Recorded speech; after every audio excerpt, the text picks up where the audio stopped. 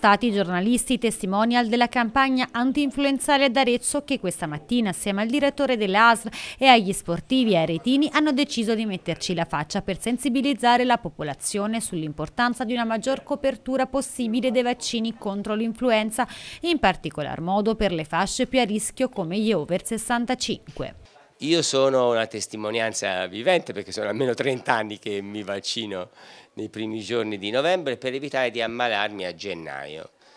Ma non lo facciamo solo per noi stessi, lo facciamo anche per gli altri. Ogni anno muoiono in Italia 9.000 in genere anziani per polmonite. Beh, pensate che 9.000 persone muoiono perché non ci si è vaccinati. Non si sono vaccinati loro, non si sono vaccinati i loro congiunti, i loro eh, figlioli, insomma vivono sicuramente in ambienti dove non si è curato il vaccino. Vaccinarsi è un minuto, il dolore non si sente, gli effetti collaterali sono zero e io sono alla trentesima almeno vaccinazione, lo posso dire con certezza, e sono un segno appunto di civiltà.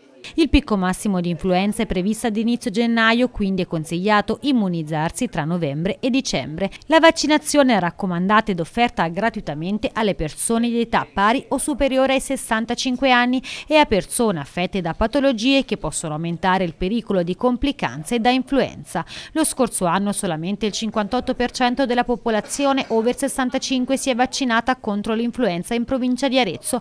L'obiettivo ministeriale è quello del 75%.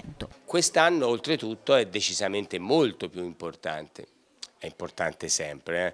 però quest'anno le premesse sono piuttosto catastrofiche, quindi vaccinatevi e soprattutto dite a tutti di vaccinarsi.